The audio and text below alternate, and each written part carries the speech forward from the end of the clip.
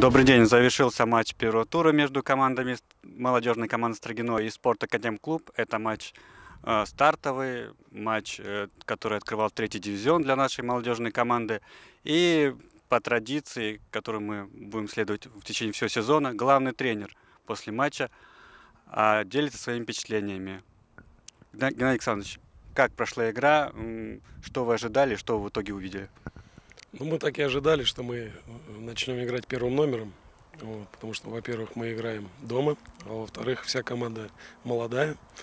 Вот. И, в общем-то, здесь хочется подчеркнуть, опять же, что у нас молодежный состав.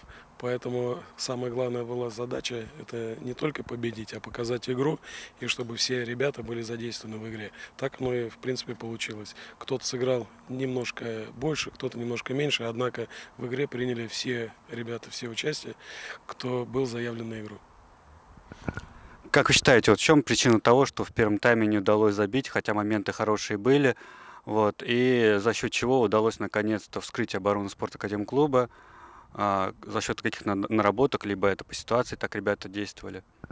Ну, начнем сначала про забитые мячи. Вы, наверное, заметили, что голы были забиты. Первый гол был забит после стандарта. Вот. Ребята, в принципе, знают свои маневры, вс- все алгоритмы действий, поэтому, в общем-то, э, главной задачей подающего угловой была отдать мяч туда, где его ждали. Вот. Ну и второй гол случился, опять же, после наигранной комбинации. Вот. По задумке должны были доставить мяч в центр, но там оказался Маслов. Ну и он не промахнулся. Вы довольны сегодня исполнительским мастерством, как команда действовала, перестраивалась? Как вообще действовала против этого соперника, с которым реально а, строгинцам в прошлом приходилось довольно тяжело играть, так исторически сложилось? Ну, если наши, все, наша работа направлена на воспитание молодежи, то как можно быть довольным? Вот. Мы будем выигрывать тогда, когда тренер, наверное, будет все-таки недоволен любой игрой. Потому что всегда хочется улучшить игру и внести какие-то в нее новшества, яркие краски.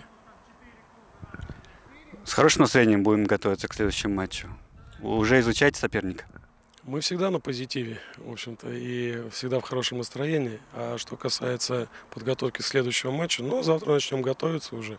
Сегодня, сегодня еще ребята на эмоциях, а наш тренерский штаб уже как бы э, свисток прозвучал этой игры первого тура, и мы уже готовимся с, э, с окончанием свистка, с вот этого, уже готовимся к следующему матчу.